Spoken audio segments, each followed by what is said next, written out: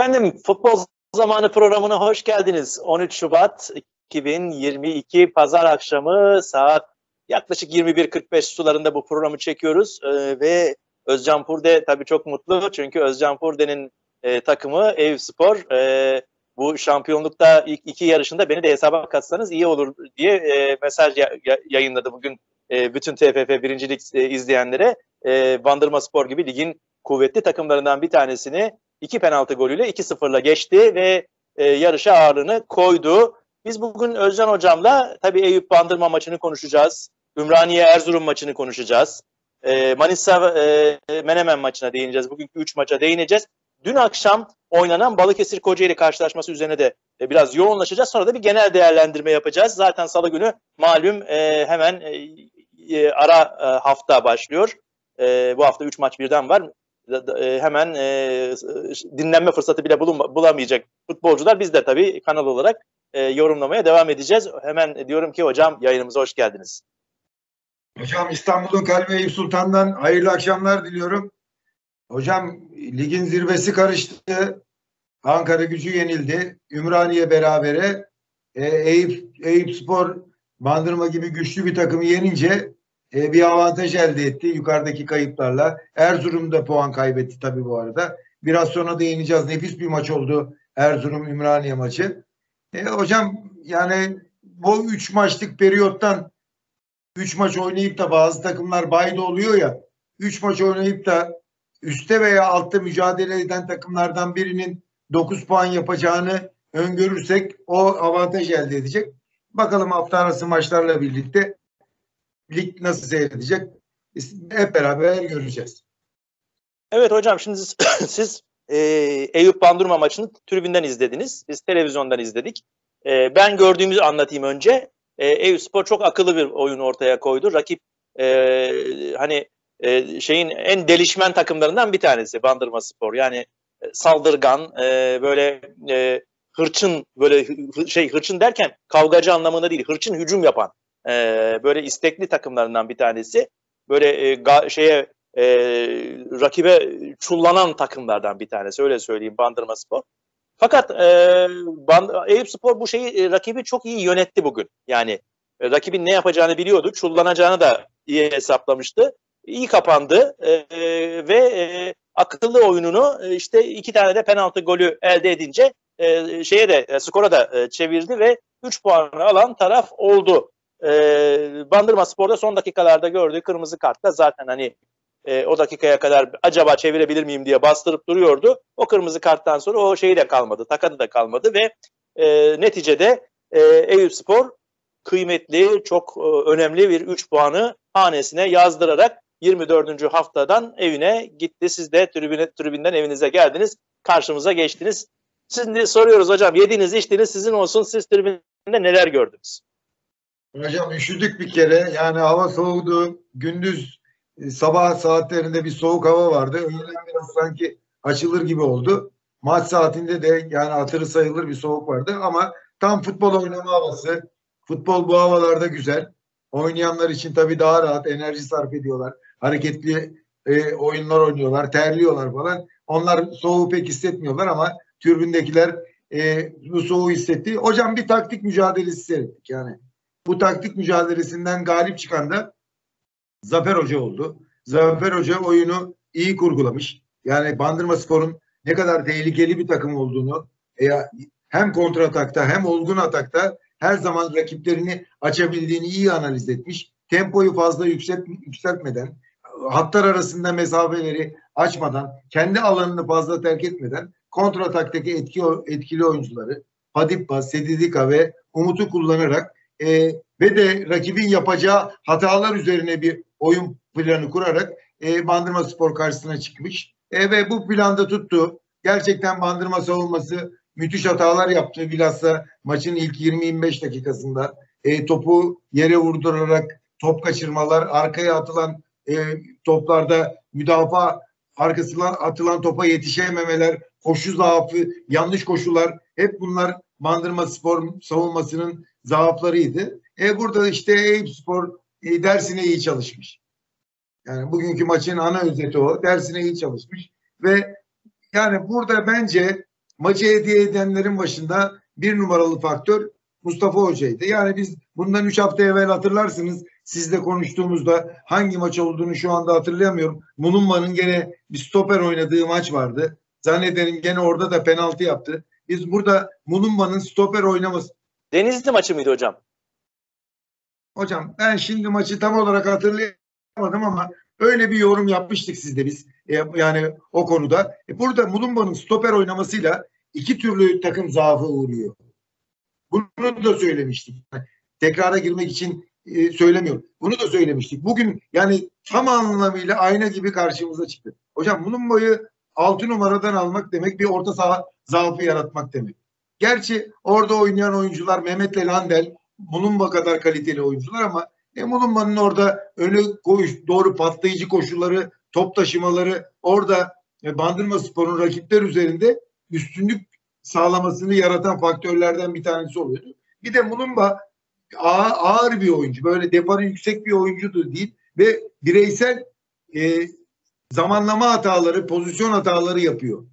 Bu pozisyon hatalarını orta sahada yaptığınız zaman geride karşılayan dört oyuncu ve bir de kaleci var. Ama merkezde yaptığınız zaman rakip forvetleri e, kaleciyle karşı karşıya bırakıyorsunuz. Ve bu hataları e, bir pozisyon oldu, gol pozisyonu oldu, verilmeyen bir gol pozisyonu oldu. Offside diye e, ilk çıkışta offside yoktu. Fakat sonradan vurulan topta ben kalecinin önde olduğunu gördüm. Kalede bir tane bandırmalı vardı. Ona bayrak kaldırmış olabilir ama sonra da geldim televizyondan da seyrettim. Net olarak gözükmüyor. Ama kaleci öndeyse topa vurulduğu zaman e, bir kişinin içeride kalması offside için yeterli faktör olmuyor. Ona tahmin ediyorum bayrak kaldırdı. Bunları niye anlatıyorum? İşte arda arda yapılan Bandırma Spor savunma hatalarıydı bunlar. E sonra da penaltı pozisyonu oldu gene arkaya kaçı. Gerçi arkaya kaçan adam genelde Umut oldu. Yani daha deparlı Sedidika ve Padip Bolma. Umut da o kadar hızlı bir adam. Mesela birinci penaltı pozisyonunda e, Mulumba daha e, doğru yere koşu yapması gerekiyordu bana göre. Yani topa doğru yetişmeye çalıştı. Adamın koşu sahasına e, koşuyu yapıp orayı kapatabilseydi penaltı yapmasına da gerek kalmayacak. Zaten e, Umut da çok tecrübeli bir oyuncu. Onun o koşusunu gördü ve penaltıyı aldı bana göre. Yani evet. darbeyi kendini darbeyi kendine yaptırdı. İşte bu da tecrübe. Penaltıyı da sonra güzel bir şekilde kullandı ve e, Bandırma Spor karşısında Eyüp Spor öne geçti. Eyüp Spor'un futbolu bu. Eyüp Spor'u iyi analiz etmesi lazım rakibin hocam.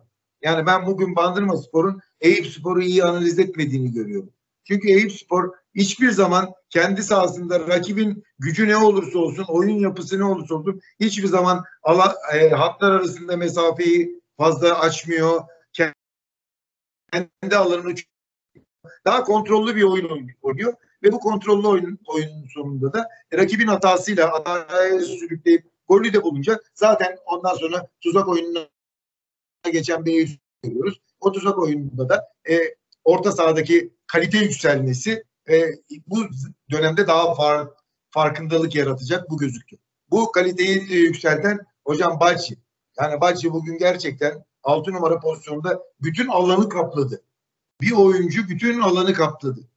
Doğru paslar verdi, doğru yardımlara girdi, kademelerde doğru yerlere koşu yaptı. Kendisine verilen stoper pasların, stoperlerin verdiği paslarda Arkadan rakibin baskısını yiyince hemen tek topta iadesini yaptı ve belli çok büyük bir güç olduğunu bugün e, gösterdi. Öne tek zaafı nedir diyebiliriz. Öne e, çıkışlar yapmadı belki topsuz ama ona zaten gerek duyacak bir oyun yapısı yok Eyüp Spor'un. O işi de zaten e, Ahmet'le Bekir'e bırakmıştı bugün. Orta saha güçlü bir orta sahayla bugün Eyüp maçı kazandı hocam. Yani güçlü ve oyuncu değişikliklerinde de e, skoru bulduk. Son dakikalara girinceye kadar da orta saha yapısını bozmadı. Oyuncu değişiklikleri için neyi eleştirilebiliriz? Mesela Sededika çıkarken biraz bozuldu.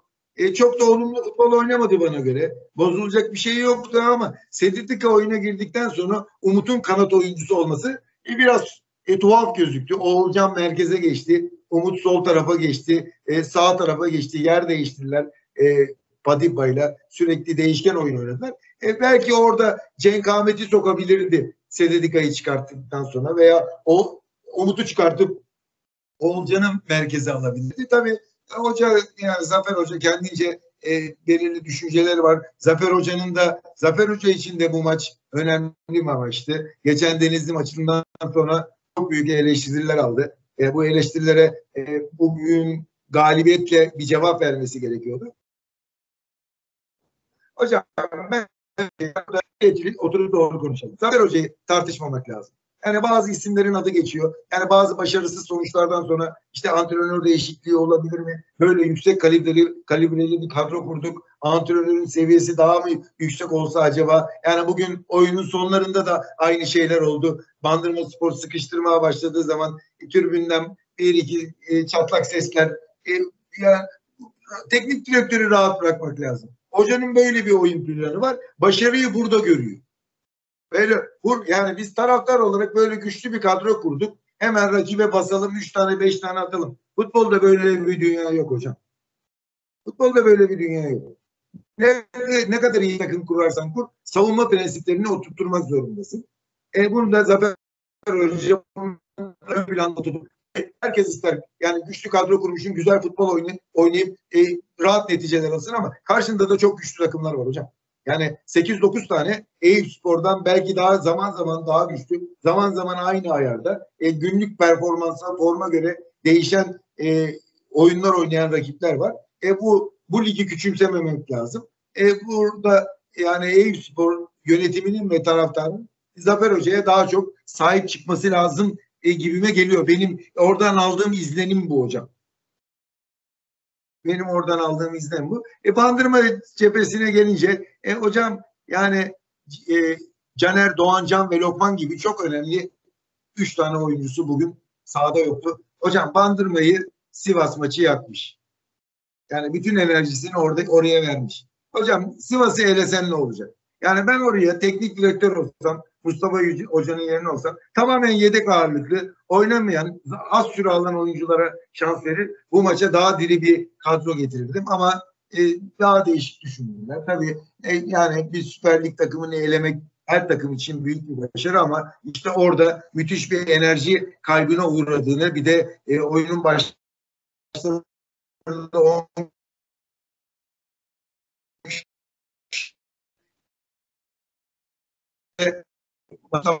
güçlü bir takıma yani oyuncu daha fazla enerji sarf etti. Bunlar önemli maddelerdi e, Bandırma Spor için. E, bir de Muluma'nın stoper oynaması bence e, bu işin e, kilit noktasıydı. Ve Muluma'nın stoper oynaması hem iki penaltı yarattı hem de e, Bandırma Spor'un oyununu etkiledi. Bir de Kenny benim çok beğendiğim bir oyuncu. Burada her hafta söylüyorum.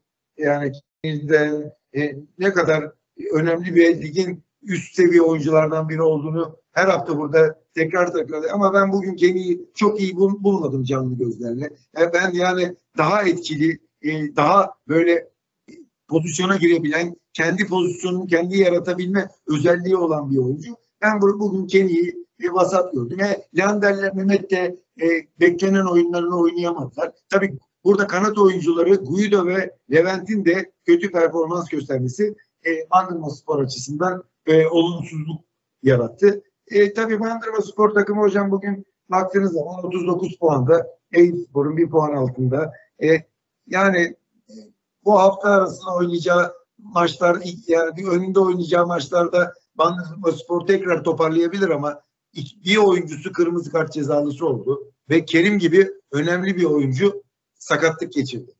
Yani inşallah yani Bandırma açısından söylüyorum Kerim'in sakatlığı ciddi değildir. Çünkü bütün oyunu çekip çeviren e, Kenny'nin yanına yardımlaşmaya giden, pozisyona girmeye çalışan, şut atmaya çalışan çok çok önemli bir oyuncu. E işte yani Kerim'in de sakatlığı bandırma takımını etkiledi. Bence yani Bulunbor'un yaptığı ucuz penaltıyla Eyüp Spor e, umduğundan daha rahat kazandı bana.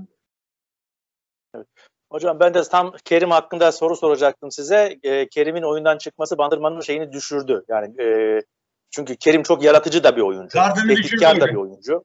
Çok yaratıcı. Evet. Gardını da düşürdü. Yani önde top tutamaz oldu. E, Kenny'ye yardımlaşmaya gelen e, oyuncu sayısı azaldı. Kanatlara iyi toplar gitmedi. Zaten yani Süleyman Caner'i çok arattı. Yani Caner orada ne kadar önemli bir oyuncu olduğunu burada biz her zaman söylüyoruz. Oradan sol sol savunmadan oyun kurabilen kabiliyette bir oyuncu Caner. E, bugün onun eksikliğini e, çok aradı Bandırma takımı. E, o açıdan yani Bandırma bugün biraz evvel de söyledim ya hafta arasının yorgunluğuyla tam konsantre bir maç çıkartamadı. Evet. Ben bugün Oğulcan'ı da beğendim hocam. Eğer bu lige alışırsa e, katkı sağlayacak gibi gözüküyor. Hocam Oğulcan da yani sert defarlar attı merkezde. Yani rakip ağır rakiplere karşı çok etkili olur. Mesela bugün Eyüp Spor'da da farklı bir oyun yapısındaydı. Kalede Emrullah'ın yerine Çağlar Şahin'i tercih etmişti geçen haftaki hatalı golden gollerden sonra. E, önemli bir hamleydi o. E tabi Bülent'i mesela savunma gücü yüksek Bülent'in yerine e, topu daha iyi kullanan Mehmet Uslu'ya yer vermesi o da önemliydi. E, Timur kadroda yoktu haftalardır ama Timur'un özel bir durumu varmış. Buradan e, e, çocuğu dünyaya gelmiş. Buradan çocuğuna da sağlıklı ömürler dileyelim. E, o, o açıdan e, kadroya girmemiş bu hafta. E bir de burada mesela Timur'un da kadroya gireceğini düşündüğü zaman Oğulcan yani Eyüp kadrosunun ne kadar genişlediğini görüyoruz. Eyüp Spor'u yani Eyüp Spor e, 3-4 maçtır kendi sahasında gollemiyor. Eyüp Spor'un geleceğini deplasmanda alacağı puanları belirleyecek hocam. Yani hangi sırada kalacağını deplasmanda alacağı puanlar belirleyecek. Hocam bugün e, Ümraniye Spor Erzurumspor maçı gerçekten e, nefis bir maçtı. E, adeta yani, yani tarafsız gözle izleyen bizim gibi e, kişiler için ya şu maç niye bitti ki ya falan dedik 90. dakikada. Keşke bitmese biraz daha izlesek e, dedik yani.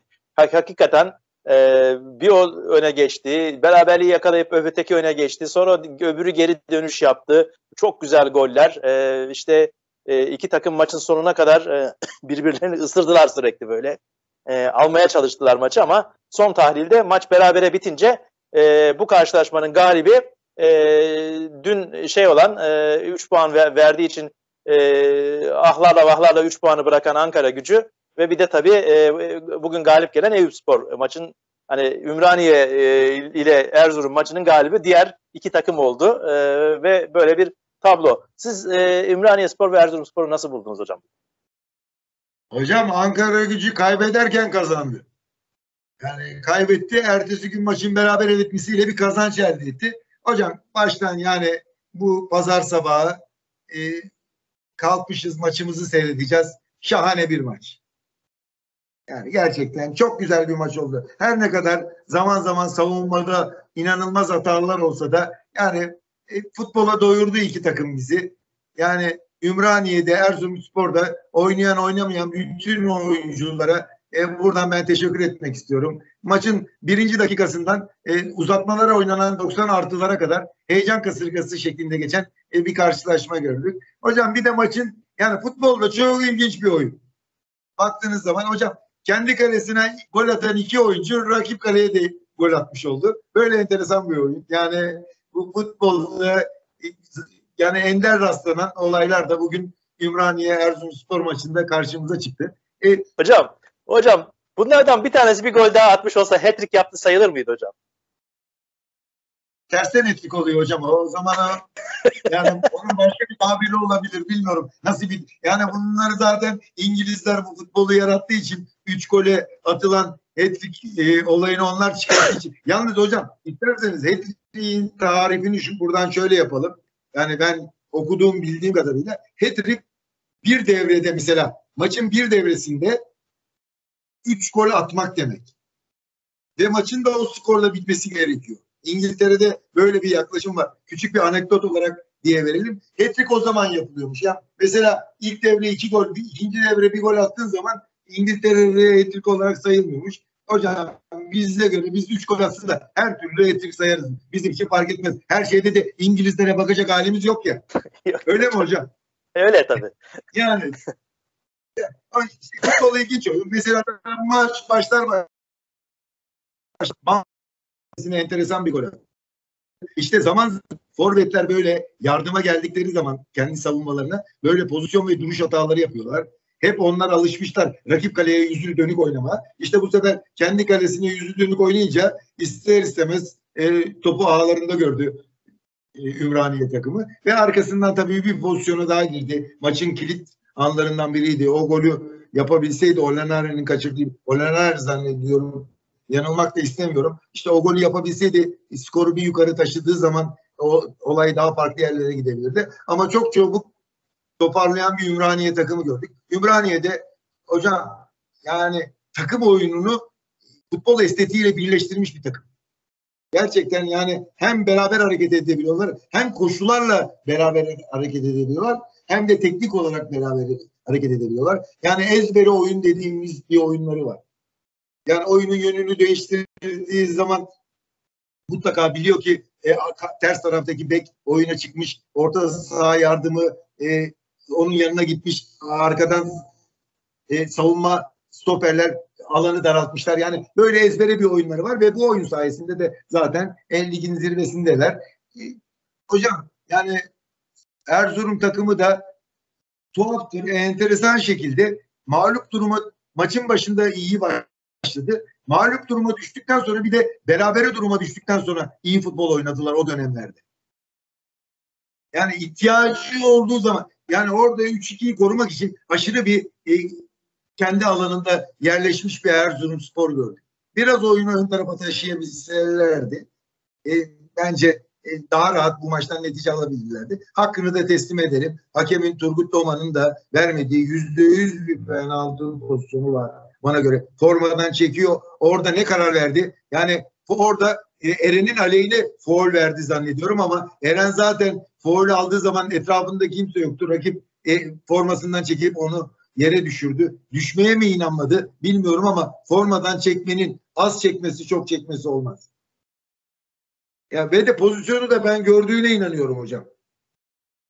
Ben çektiğini çok e, görmedi diye hissettim. Yani çünkü görmüş olsa penaltıyı çalması gerekirdi. Bir de Eren e, iyi düşemedi. Gösteremedi yani.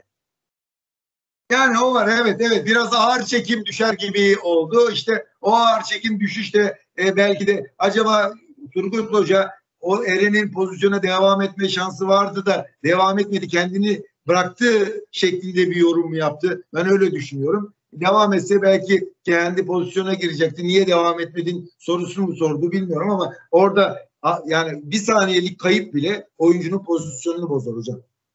Yani orada kasti bir hareket varsa vermek lazım. E tabi Olanari bomboşu kaçırdığı pozisyon kilit noktası dedik. E ondan sonra Yakup'un kurtardığı bir iki pozisyon oldu. Yani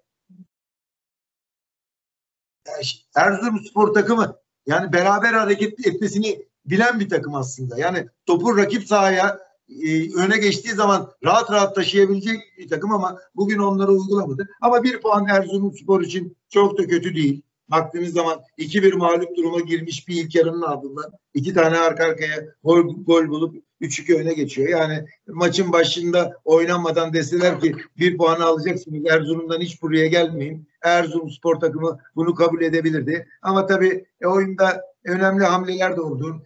Norvin Kovas'ın yaptığı iki tane güzel asist var. O da etkili bir oyuncu. Baktığınız zaman e, oyun, oynama isteği olduğu zaman e, çok farklı bir oyun oynuyor Norvik Ovas. Ters ayakta, ters kanatta, ters ayağıyla e, arka direğe, ön direğe çok etkili paslar, çok etkili ortalar yapıyor. E tabii Eren döndü. E, fırsatçı golünü attı. E, Emircan çıkışta baktığınız zaman Erzurumspor'da. E, biraz Estrella ile Hasek biraz bugün e, durgun günlerinde olması e, belki de e, buradan galibiyetle çıkmasını engelledi. Ama e, Ümraniye takımı da hocam kanatları çok iyi kullandı. Yani iki kanadı Onur olsun, Kamara olsun. Ya zaten bir golde de Kamara'nın getirdiği bir topta Onur e, ters kanattan gelip vuruşunu yaptı ve kafayla golünü attı. Yani e, öyle bir oyun yapısı var ki bir kanat oyuncusu top getiriyor. Ters kanattan gelen oyuncu e, arka direkte golünü atıyor. İşte bunlar hep çalışılmış şeyler hocam. Çalışmadan e, burada e, bu pozisyonları bulamazsın, değerlendiremezsin. Çok tekrar isteyen şeyler bunlar.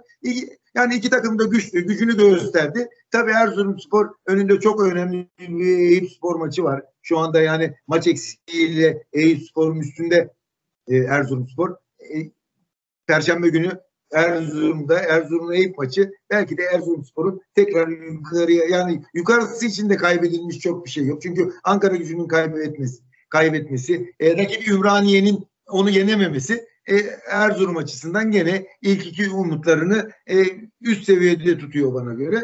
E, hocam yani burada Yücel Hoca'yı da yani hücum futbolu oynatan bir teknik direktör baktığınız zaman.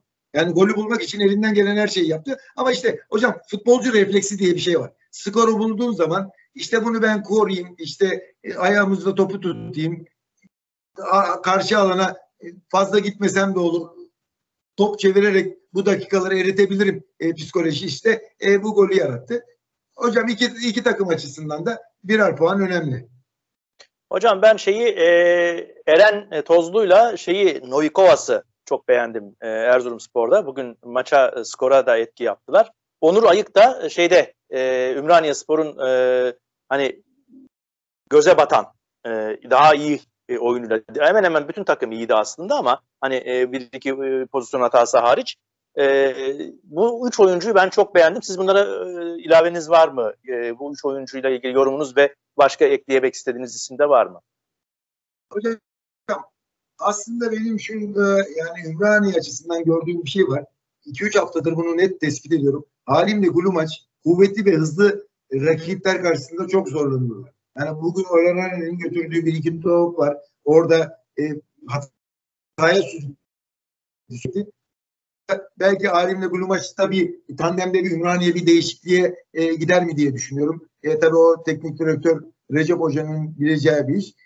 Ben iki takımın da üzüldüğünü tahmin etmiyorum hocam.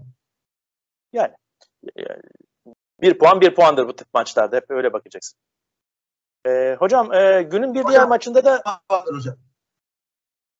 E, bir, sözünü mü kestim hocam ben pardon bir kesildi yayın. Yok kesinti oluyor hocam. Evet. İnternetten tahmin ediyorum. Yok ben dinliyorum sizi. Evet tamam. İnternet zaman zaman e, azizlik yapıyor. Kusura bakmasın izleyicilerimiz. E, günün bir diğer maçında Manisa FK ile Menemen Spor e, karşılaştı.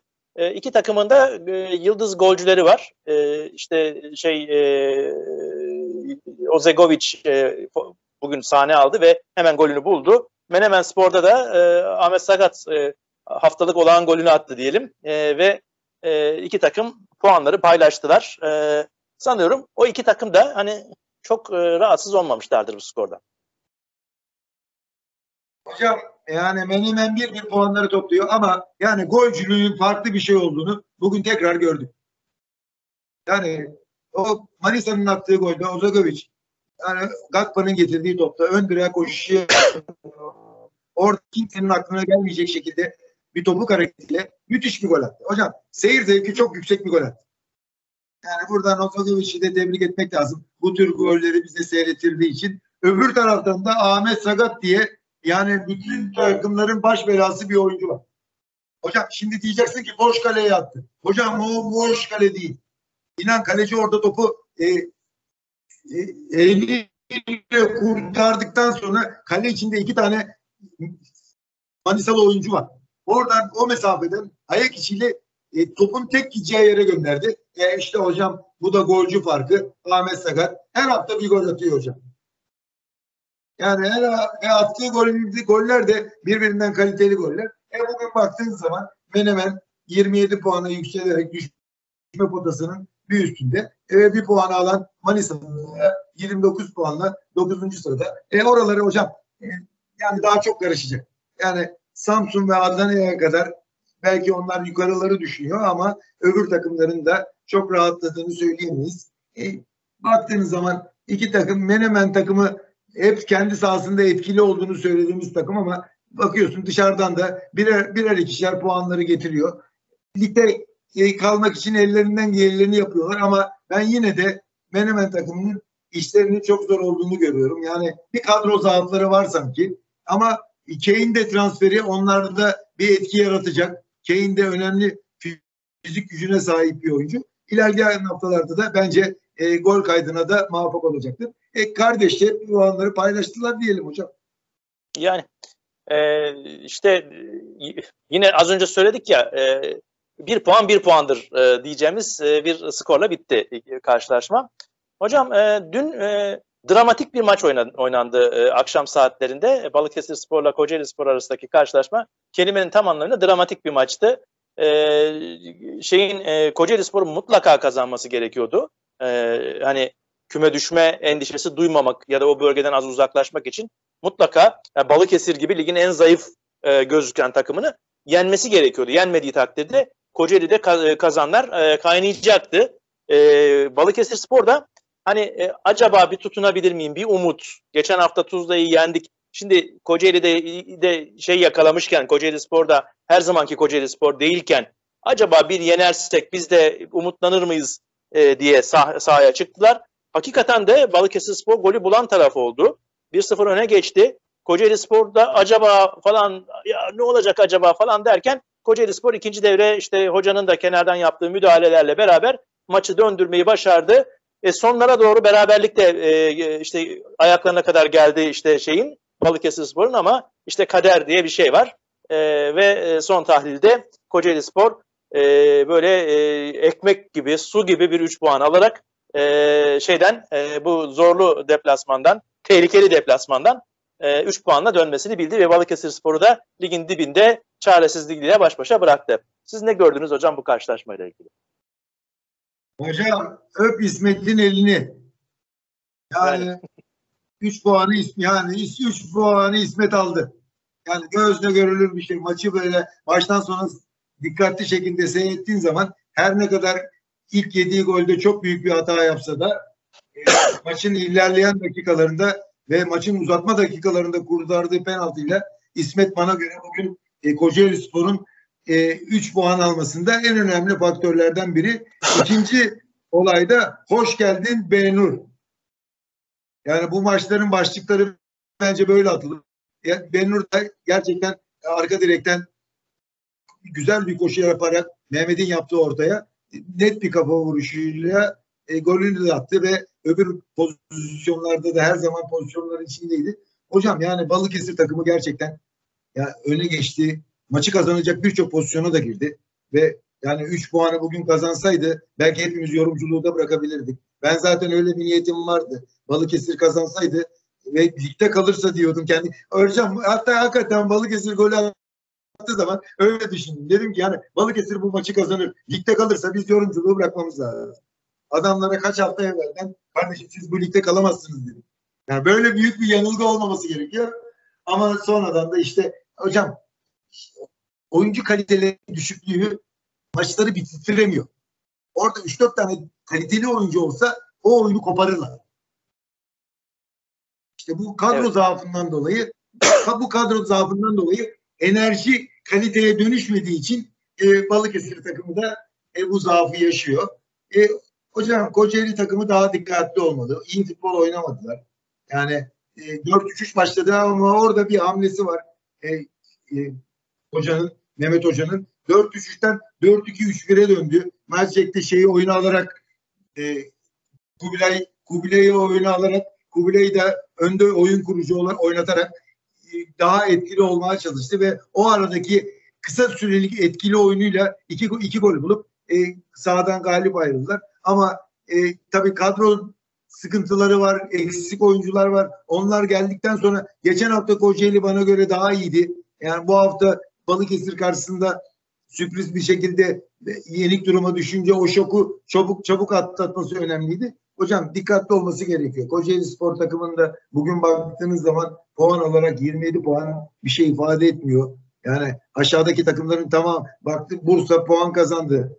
E, Denizli puan kazandı. Herkes bir yerde puanlar kazanabil kazanabiliyor bu ligde. Kocaeli Spor'da bu kritik maçtan aldığı puanla biraz, biraz olsun e, nefes almış oldu. E, hocam Şimdi ben Raşit mesela Raşit konusuna değiniyorum. Geçen hafta da mesela kaçırdığı bir gol var bu hafta. Ya ben daha etkili oyunlar bekliyorum Raşit'ten. Daha yani rakibi takımı ön sahaya daha etkili taşıması gerekiyor. E sonra Dino problemi var. Hocam ne oldu? Yani bir adaletsizliği çekti. 3 hafta 4 hafta oynanmaz dendi. 3 aydır sahalarda yok. Yani bu sorunu mutlaka çözmesi gerekiyor. Kocaeli Spor takımının. Yani Dino önemli bir oyuncu. Samet Ali aslında kötü değildi. Yani duvar paslarında bir iki tane etkili atak yaptılar. Topu tutabildi ama işte golcülük vasfı farklı bir şey. Dino da işte o gol vuruşu özelliği daha fazla olduğu için bir an önce de e, Dino'yu e, takımın içerisine katması gerekiyor Kocaeli Spor'un. E, Kocaeli Spor'un bu kadrosuyla hocam e, daha hakim oyunlar oynaması lazım. Yani bir kadro kalitesi var yani bugün bence ilk altının içindeki kadrolardan hiç farkı yok Kocaeli Spor. Ama oyunları tamamen tezat. Belki tabii Mehmet Hoca yeni geldi. Bir şeyler oturtmaya çalışıyor. İşte bu hafta maçın başında 4-3'e döndüğünü gördük ama 4-3'e döndüğün zaman rakibe de fazla pozisyon vermiyorsun ama karşı alanda da fazla etkili olamıyorsun. O sistem değişikliğiyle rakip alanda etkili olmaya başladı. Tabii bu arada da e, pozisyonlar da veriyorsun. Çünkü 4-2-3-1'in üstünün kenarında oynayan kanat oyuncuları çok uzun mesafe koşmak zorunda kalıyorlar. E, bu da tabii kondisyon isteyen, güç isteyen bir şey. Bu arada da işte orada yaşanılan zaaf rakibin de o orta alanda etkili olmasını sağlıyor. Bu tür sıkıntıları yaşadı. Tabii çalışarak e, bunlar e, düzelecek şeyler. Balıkesir Spor için birkaç şey söyleyecek. Ümitler tükenmiş hocam. Zaten maç başlamadan evvel tribünlere baktığınız zaman Balıkesir Spor'un düştüğünü anlıyorsunuz. Hocam yani bizim halı saha maçlarını 100-150 kişi seyrediyor. Yani karşı tribünde 20-50 yani yoklama yapsan adamları sayacaksın. Yani hiç mi futbol? Hadi maça git yani Balıkesir'den ümidi kestin. Yani orada 500 kişilik, 1000 kişilik futbol sever topluluğu da mı yok? Yani bir seyirci baskısı olsa belki oyuncular daha bir motive olacaklar. Daha canlı oynayacaklar. E, daha oyunu tutmak için ellerinden geleni yapacaklar. E hocam e, Balıkesir Spor taraftarıyla da düşmüş. Yani bunu söylemek zorundayım. Ben Balıkesir camiasını seviyorum. Yani e, onun Osman Aporcuoğlu'nun oynadığı yıllardan hatırlarım ben. Balıkesir Spor takımını. O zaman İstanbul'un zaman ikili maçlar oynuyor üç büyüklere karşı. Yani köklü bir camia ama e, yani taraftarında biraz belki de cezalı mıydılar? Taraftarın birçoğu cezalı mıydı? Aynı eksiklik Bolu maçında da vardı. Bolu takım Bolu taraftarı da e, maçlara önem vermiyor. Sağ, yani türbünlerde yani elle sayılır e, sayıda taraftar var. E, bunlar tabii e, oynayan oyuncuyu da etkiliyor. E, Balıkesir için artık ümitler tükendi. Bence artık önümüzdeki sezonun, sezonun hesaplarını yapmalıdır diye düşünüyorum. Hocam. Hocam bir şunu söylemek istiyorum. Hocam bu deplasman yasağının da artık kalkması lazım. Taraftara gelen deplasman yasağının artık kalkması lazım. Hocam her şey yapılıyor da Kocaeli kişilik bir topluluk duracak. Taraftarın kılacak. O onu gören belki iç sağ taraftarı da maça önem verecek. Onlar da e, sahadaki yerler, tribünlerdeki yerlerini alacaklar. Bir an önce Futbol Federasyonu bu deplasmana gelen taraftar e, yasağını kaldırması gerekir diye düşünüyorum. Hocam e, aynen katılıyorum ben de. E, bu deplasman yasağı rahatsız edici bir boyuta ulaştı. E, ben e, Kocaeli Spor'dan e, söz etmişken e, iki ismi soracağım. Bunlardan bir tanesi mesela Kubilay bugün daha istekliydi. Yani önceki hocayla pek e, şeyinin uyuşmadığı belliydi Kubilay'ın. Hani frekansının uymadığı belliydi. E, mutsuz olduğu hissediliyordu Kubilay'ın. Kubilay e, istekli bir oyun ortaya koydu ve e, Samsun Spor'daki o hatırladığımız Kubilay'dan şeyler verdi. Yani e, enstantaneler verdi. Yani daha da iyi olur belki bundan sonra. Ama ben e, bu Kolovas konusundaki e, den bir tereddüt yaşadım. Yani tabii yeni geldi, e, tanımadığı bir ortam, tanımadığı bir ülke. E, takım arkadaşlarını henüz tanımıyor ama büyük beklentilerle gelmişti. Ben e, Kolovas'ı pek öyle hani şey görmedim. Çok öyle e, ekstra bir katkı sağlayacak bir e, yıldız e, şeyi olan, kumaşı olan bir oyuncu değilmiş gibi geldi bana bilmiyorum. Sana e, nasıl geldi? Hocam Kolovas'ın bence problemi doğru yeri bulun yani doğru mevki bulunmadı bana göre.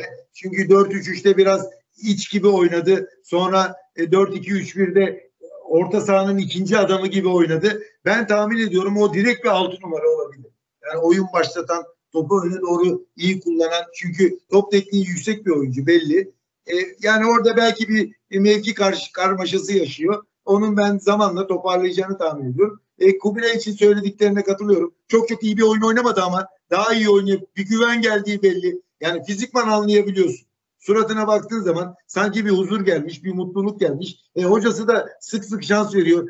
Demek ki takımın içerisinde onu düşünüyor ve onu hazırlıyor hafta içerisindeki antrenmanla. Kubilay önemli oyuncu. Sol ayağı kuvvetli bir oyuncu. iyi toplar atabilen, toplara vurabilen bir oyuncu. Zaman zaman o etkinliğini de önümüzdeki haftalarda gösterecektir. Hocam her takımın her oyuncuya ihtiyacı var. Bir oyuncuyu kaybetmek kolaydır. Sen git gelme oynamıyorsun dersin. Gider gelmez oynamaz. Ama sen adamı teknik direktör olarak en verim verebileceği yeri tespit edip orada moral motivasyonla e, bir yerlere taşıyıp geliştirebilirsen hem oyuncu kazanacak hem kulüp kazanacak hem de teknik direktör kazanacak. İşte bazı oyuncular böyle moral oyuncular oluyor. yani Kubilay'ın da ileriki haftalarda takıma daha da yararlı olacağını düşünüyorum. Hocam e, şimdi bu hafta içi maçlar oynanacağı için biz bu hafta şeyi yapamayacağız gibi gözüküyor. E, bu haftanın panoraması programı, salı günleri yaptığımız programın e, yapamayacağımızı varsayıyorum. Çünkü artık e, maçları konuşmak tabii daha doğru olur.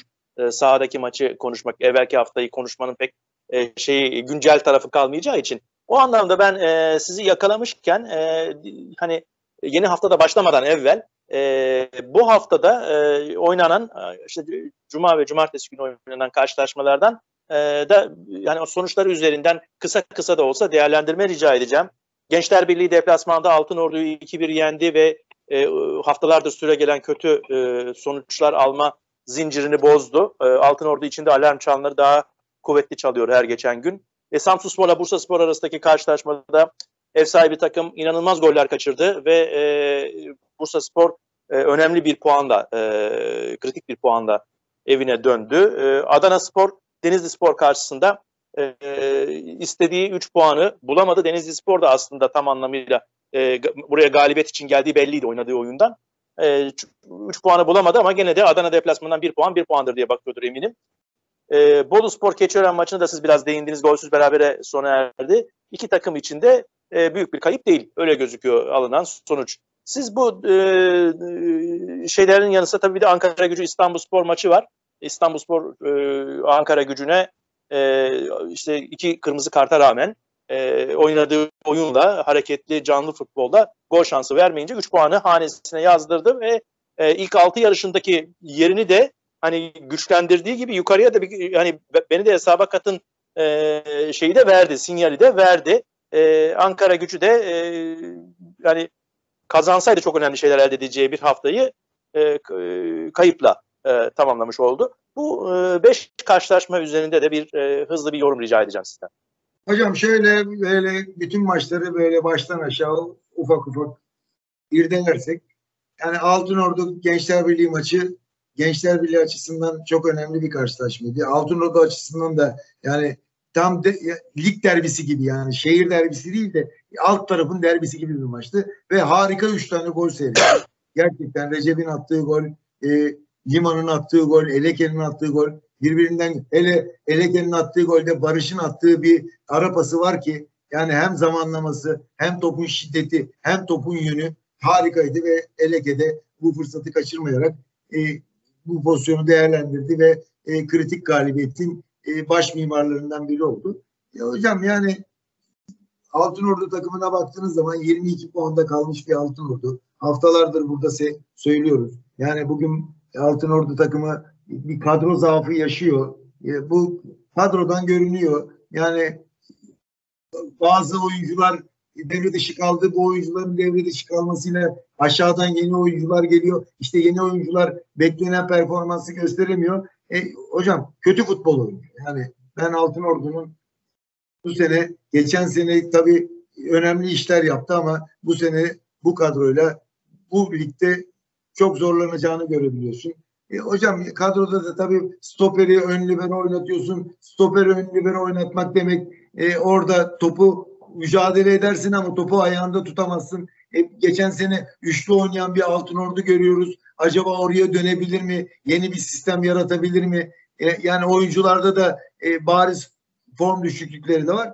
E, bir de öbür rakiplere nazaran da bazı rakiplerden iki maç fazla oynamışlığı var. Ona rağmen bugün 22 puanla 17. sırada. E, Altın Ordu'nun ben işinin çok zor olduğunu görüyorum. E tabii Gençler Birliği de e, bu kritik deplasmandan e, moral bulunarak geldi. E, Metin Hoca da tabii bazı sakatlıklardan, hastalıklardan kadro zaafı yaşıyordu. E, hele ki işte Lima gibi önemli oyuncularla 3 puanı bulup rahat bir nefes aldı. E, Bolu Keçiören maçı taraftardan biraz evvel bahsettik. Yani bir, bir hafta evvel önemli bir maç kazanmış Bolu taraftarının daha çok ilgi göstermesi gerekiyordu. Ama işte e, Keçiören gücü maçında e, az çok az sayıda bir tarafta. Keçiören inanılmaz goller kaçırdı. Yani öyle, o kadar maçı rahat kazanabilecek pozisyonlara girdiler ve bunların hiçbirini değerlendiremediler. Yani kaleye attıkları 9 şutun hiçbirisi kaleyi bulmamış. Tabii kalede mesela e, Bartu diye bir kaleci var. Geçen hafta ilk defa oynamıştı. Ondan bahsetmiştik. Hocam kaleye şut bulmuyor. Acemi şansı var Bartu'da. Kaleyi bulan hiç şut yok Bolu Spor'un. Hiç kurtarış yapmadan e maçı bitirdi. İşte bazen de böyle genç kaleci şanslarıyla e, hem puanı alabiliyorsun hem de e, kaleci kazanabiliyorsun. E 28 puanı var. Neler yapacak göreceğiz. İki maçı eksik. Onun bir hem bir maç hava şartlarından kaynaklanan bir maç eksiği vardı. Hem de e, bay haftasını da geçirmiş oldu. Yani 28 puan oradan alabileceği yani oynanmamış maç kazanılmış maç da değil. Yani o iki maçı da kazanacağının garanti. Hocam bu ligde hiçbir maçı kazanmanın garantisi yok. O açıdan ama Bolu Spor'un iyi bir takımı var. İyi bir kadrosu var.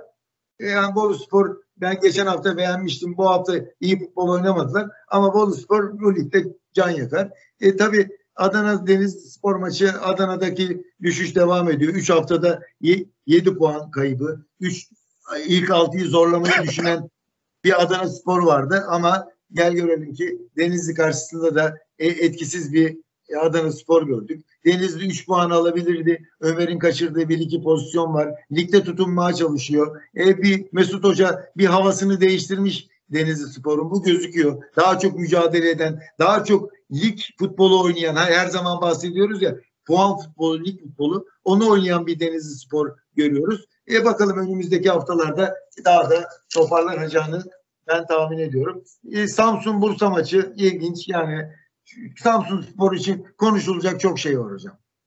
Yani Samsun Spor takımı yani baktığın zaman bu maç nasıl beraber biter diyebilirsin. Yani müthiş goller kaçtı. Yani bu maçın ilk yarıda bu maçın kopması gerekiyordu. Ben burada notlar almışım. 17. dakikada kaçan, 33'te kaçan, 39'da kaçan, 41'de isimlerini vermiyorum çünkü hepsinin içinde Hasan var. Yani, yani hepsinin içinde Hasan bütün pozisyonların Has, içinde var. Ama Hasan, Hasan'ı ben bu Hasan, sene Hasan'ı rot balansa götüreceğiz hocam. Ama hocam Hasan'ı ben ilk defa bu kadar etkin gördüm. Gerçekten. Ya, yani, yok yani. Şimdi şöyle taraftar ıslıkladı. Ben katılmıyorum taraftarın e, bu ıslıklamasına. Çünkü pozisyona giren adam demek ki uğraşıyor e, demektir. Talihsizdi biraz. Biraz formsuz belki ama uğraşıyor yani. Hocam protestoyu hak etmediği tek maç buydu bana göre. Ciddi söylüyorum. Vuruş zaafı yaşadı yalnız. Ama Hasan'ın Hasan kalitesinde yıllardır bu liglerde futbol oynayan bir oyuncunun da o, gol, o pozisyonlardan gol çıkartması gerekiyor. Ya birini bari hastaydı. Heh, hocam futbol böyle bir şey. Başarısız olduğun zaman eleştiriliyorsun. Taraftar da eleştirir. Taraftarın hakkıdır. Hakaret olmadığı müddetçe her türlü eleştiriyi yapma hakkına sahiptir. Hasan da bunlardan ders çıkarsın. E tabi Savicevic'i e, etkisiz gördük. Tomane çok kuvvetsiz ve neşesiz. Yani attığı golden sonra bile keyif yapmadı farkındaysan. Yani suratında bir tuhaf bir mutsuzluk ifadesi var. O neden kaynaklanıyor? Onu bilmiyorum. Ben dışarıdan seyrettiğim kadarıyla siz camianın daha çok içerisindesiniz. E Yasin kötü günlerinden birini yaşadı. E Osman'dan altı numara olmaz. Her zaman söylüyorum. Yani oraya belki 6 ile 8'i Hasan'la Savicevic yapıp belki Cihan'a şans verebilir veya yeni gelen oyunculardan orada oynayacak düzeyde oyuncular var mı bilmiyorum ama attığı gol mükemmeldi. Samsun Spor'un attığı gol gerçekten mükemmeldi. Hazırlanış bakımından burada Bataö için de bir iki söz söylemek istiyorum. 3-4 tane müthiş ön tarafa oyun başlangıcı yaptı. Hatta atılan golün de ilk pasını orta sahaya veren Bataö'ydü. Orada belki bu hız zaafını çözebilirse belki yani uzun yıllar Samsun Spor'da faydalı olabilecek. Yunus da zaten ufak tefek hatalar yapsa da onun yanında daha da tecrübelenecek. Osman gibi bir alternatif var. Samsun Spor bazı şeyleri çözmüş. Ama işte bu skor yakalayamadığı zaman camiayı ümitsizlik kaplıyor. Bu ümitsizlik de sahaya yansıyor. Sahaya yansıdığı zaman da işte yani beklentiler hocam normaldir. Büyük takımlarda beklentiler büyük olur. Büyük takımın eleştirisi de büyük oluyor, sevgisi de büyük oluyor. Futbolcular e, bunları her zaman göz önünde bulundurmalılar. Yani küçük bir hareketten de e, abartılı şekilde destek alabiliyor futbolcular. İşte e, başarısız oldukları zaman eleştirilebiliyor. E, büyük takımda, oy, büyük camialarda oynamanın bu tür bedelleri de var. E tabi Bursa Spor takımı e, çok kritik bir puan aldı. Ya yani e, puan almak için elinden gelen mücadeleyi gösterdi. E, geçen haftaya nazaran biraz etkisiz olsalar da e, Pedro gibi bir golcü bulmuşlar. Bir pozisyon yakaladı. Her ne kadar orada bir çarpma rakibe ya, iki ayağına birden çarpma gibi bir pozisyon olsa da biraz da şans eseri ama ben orada top tutuşunu, e, pas servisini beğendim Pedro'nun. Top gelirse gol yapabileceğini gösterdi. E, Cenk Şahin hamlesi iyi oturmuş baktığınız zaman oyuna girdikten sonra Bursa Spor'un en etkili oyuncularından biriydi. E, bir puan Bursa Spor için Samsun Spor gibi zorlu bir deplasmandan e, çok çok iyi gibi gözüküyor. Ama tabii oyununu da daha düzeltmeli diye düşünüyorum. E, İstanbul Spor Ankara gücü e, ikilisi için neler söyleyeceksin hocam? Hocam İstanbul Spor bu ligin en kuvvetli takımlarından biri. Çok güçlü takım hocam. Baktığınız zaman. Yani burada ben Ankara gücü taraftarı olsam bu mağlubiyete üzülmem. Yani, yani İstanbul Spor takımı yani bugün her bu ligde herkesi yenebilecek güce sahip. Ve dört haftadır da e, sağdan galibiyetle ayrılıyorlar. Müthiş bir lige giriş yaptılar. Hocam 10 kişi kaldılar. Can siperhane mücadele ettiler. 9 kişi kaldılar. Can Siperhan. Orada biraz da kaleci Alperen'i ben eleştiriyorum. Hakem kırmızı kartta yüzde yüz haklı. Benim şahsi görüşüm. Yani sen orada vakit geçirmeden sarı kart görmüşsün. Koşarak depar atıp hakemin yanına gidiyorsun. Hakem seni orada idare ediyor. Hemen atmadı. Ve itiraza devam ediyorsun. E, hakemin de bir otoritesi var. E, hangi takım? Zorla, at, zorla attırdı kendini hocam. Zorla kendini attırdı. Bravo. Çok güzel bir tabir kullandı. Zorla kendini attırdı. Gel beni at dedi. Hakem de attı kardeşim. Ya senin böyle bir şey 9 kişi e, Mehmet Kale'ye geçti. E, yalnız ben artık dünya futbolunda bir şeyin değişmesi gerektiğini düşünüyorum hocam. Mutlaka kaleciler sahadan atıldığı zaman kaleci yerine kaleci girme hakkı olması gerekiyor. Yani o oyuncu değişikliği hakkın olmasa da kaleci için bir opsiyon yaratılmalı bana göre. E çok yani futbolun e, ana temasına yakışmayan görüntüler oluyor. Futbolcu işte uzun kazak giyiyor işte bir tuhaf tuhaf hareketler yapıyor kalenin içerisinde bilmem. Yani bunları değiştirmek lazım. Futbolu güzelleştirmemiz gerekiyor hocam. Bir oyuncu çıkartırsın bir kaleci sahaya sokabilirsin. Kırmızı kart veya sakatlık pozisyonlarında. Bunları bence yani FIFA, UEFA kim bunları düzenliyorsa bence düşünmeli. Yani kaleci veya iki kaleci alabilirsin yedek olarak e, o tür zaaflar yaşadığı zaman yani bu bu görüntülere artık bence bir son verilmeli diye düşünüyorum. E, bu arada da Eren derdi yok da çok geçmiş olsun. Korkuttu bizi maç seyrederken. Gerçekten bir problem yaşadığını gördük ama sağlık durumu iyiymiş galiba. Belki sarf ettiği fazla bir enerjiden, tansiyon yüksekliğinden kaynaklanan bir şey olabilir diye düşünüyorum ama hemen antrenöründe oyunda alması, oyundan alması çok iyi bir hamleydi. Hocam insan sağlığı her şeyden önemli. Burada eğleniyoruz. Futbol oynuyoruz. Takımlar kazanıyor, kaybediyor. O başka bir şey. Ama insan sağlığı bizim için birinci sırada. O açıdan buradan Eren kardeşimize de geçmiş olsun diyelim. Ankara gücü iyi futbol oynamadı. Yani Ankara gücü yani kazandığı maçlarda son dakikalara kadar e, rakibi zorlayan bir takım. Bugün de zorladılar ama karşıda hocam demir blok vardı.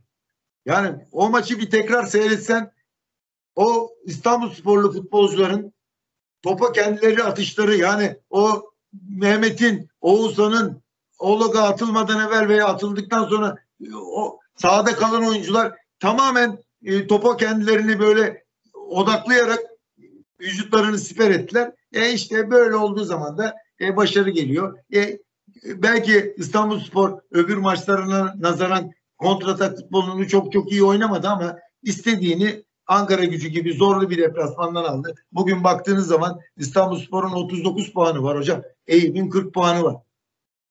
Erzurum'un 42 puanı var. Ümraniye'nin 46 puanı var. İstanbulspor'un tahmin ediyorum bir maçı da eksik olabilir. Yani İstanbulspor takımının da nedenli bu işe baş koyduğunu buradan görebiliyoruz. Yani ikinci ikinci devrenin fırtına takımı bana göre İstanbulspor ve de öyle çok büyük takviyeler de yapmadı. Yani bugün bazı takım bugün Eyüp Sporu mesela Eyüp Spor bu puanı topladı ama bugün ilk 11'de ilk yarıdan 6 farklı 5 farklı oyuncu vardı. Bir kadro yapılanması için aslında bu çok. Ama Eyüp'ün stratejisi o. Ben daha iyi oyuncular alıp onları oynatırım diyor. Saygı duyarsın. Ama İstanbulspor'un farklı bir stratejisi var. Elindeki oyuncularla yetinip onları yükseltmeye çalışan bir takım İstanbulspor ve ligimize de renk katıyor.